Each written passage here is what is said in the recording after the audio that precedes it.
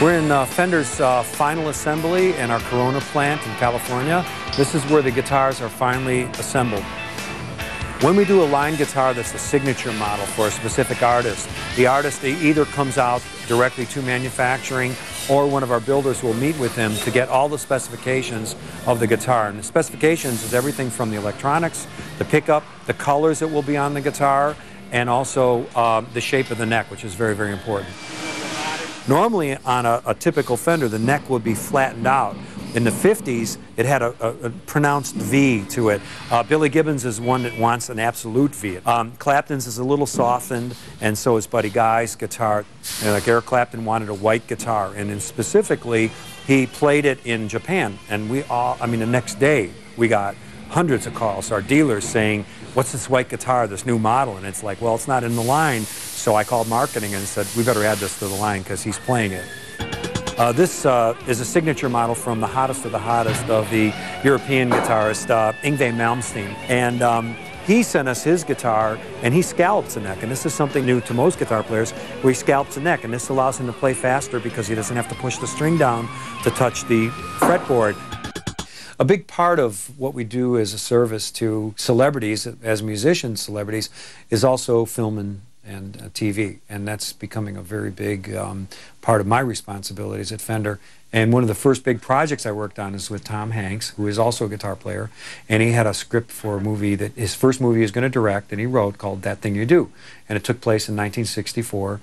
And he sent me the script to say, you know, plug in all the Fender equipment, literally, that would work in 1964. Everything had to be authentic, and it had to be with, right within the year. Recently, we did Rockstar with Mark Wahlberg, and he's left-handed, so we had to do left-handed guitars from the 80s, um, which Mark not only was nice enough to give back to us, but also sign a guitar for charity for us, too. Nothing is really too out of the realm when, you know, artists come to us. Um, Eric Clapton wanted a car, uh, guitar to match his blue Mercedes that he wanted to play on the Prince's Trust Fund, and um, we did it. And you know, he sent this photo of him standing next to his Mercedes because we got the color right. Well, we used Mercedes paint to do the color. Um, speaking of cars, the group The Cars.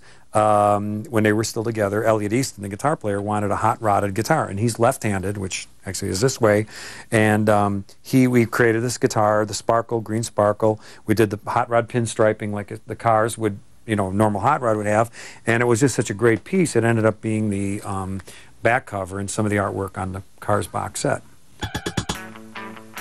This is the division of Fender that has the most interaction, the most direct interaction with the artists themselves. This is the custom shop.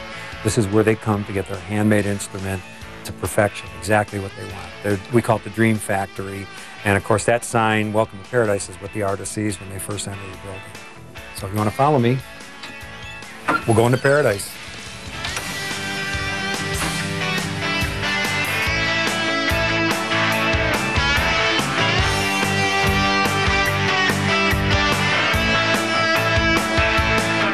This is a re replica of a 1952 Telecaster.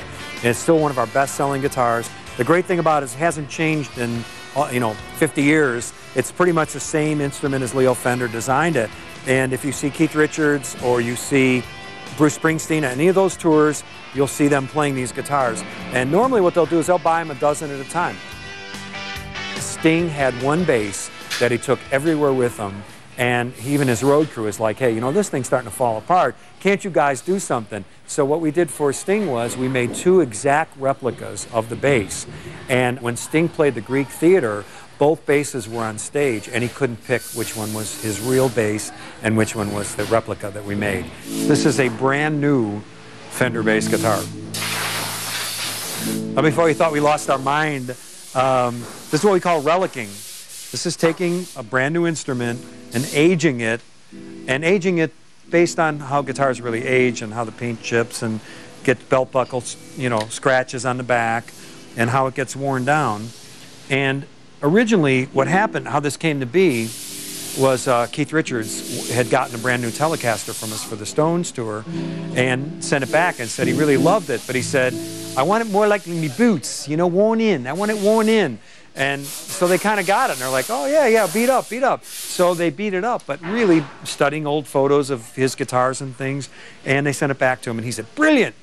And the great thing of the Fender has discovered is by relicking and beating the guitar up, you can actually twi- uh, charge twice as much money. So we love that part too. For me, it's wonderful to work with somebody like Eric Clapton, who I idolized when I was growing up. And, you know, um, meeting someone like that or being able to work with them is just you know like a dream come true for me and then to find out that they're great people that they're really wonderful you know and behind the scenes we don't see them as the stars although we still re- respect their talent and who they are but they they're treating us as equals because we represent something in their career that's very important you know? And and if they didn't get the right guitar once the guitar is right the management loves us the record companies love us the movie producers whoever it is once the star is happy everybody else is like you guys are great